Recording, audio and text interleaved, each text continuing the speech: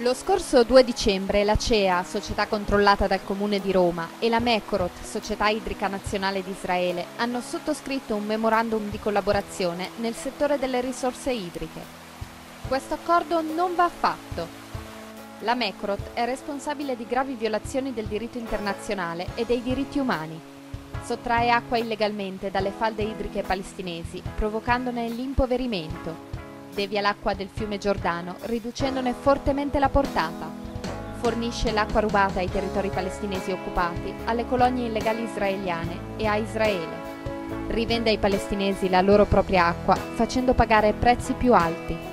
Pratica una sistematica discriminazione nelle forniture di acqua alla popolazione palestinese. Vitens, il primo fornitore di acqua in Olanda, ha interrotto un accordo con la Mekorot motivando la decisione con il proprio impegno verso la legalità internazionale. Esigiamo che la CEA segua l'esempio della Vitens e receda immediatamente dall'accordo stipulato con la Mekorot.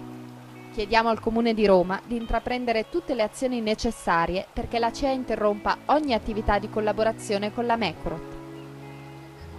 Fai sentire la tua voce contro l'apartheid dell'acqua. Il nostro impegno non è solo per l'acqua pubblica, ma anche per un'acqua limpida e libera.